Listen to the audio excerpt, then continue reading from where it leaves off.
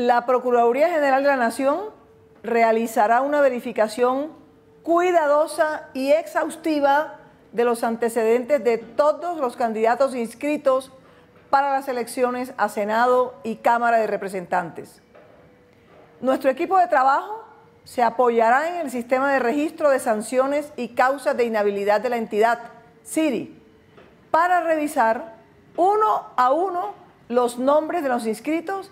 y determinar los candidatos que tengan alguna prohibición para el ejercicio de funciones públicas. Tras este riguroso análisis, la Procuraduría remitirá toda la información al Consejo Nacional Electoral para lo de su competencia. Asimismo, como presidenta de la Comisión Nacional de Control Electoral de la Procuraduría, he ordenado a un equipo de procuradores delegados ejercer la función de intervención por la salvaguarda del ordenamiento jurídico dentro de las investigaciones que adelante el Consejo Nacional Electoral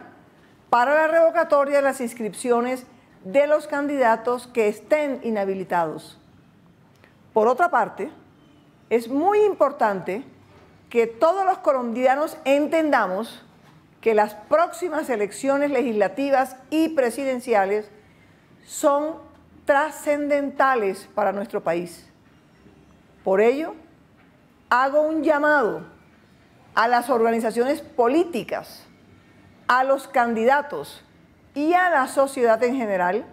para que contribuyan al fortalecimiento de nuestra democracia mediante la participación activa en las elecciones de 2022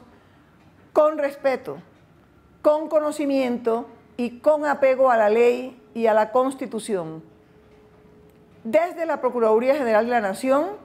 continuaremos articulando acciones con todas las instituciones comprometidas con el proceso electoral y ejerciendo la vigilancia preventiva y la de intervención que constitucionalmente nos corresponde.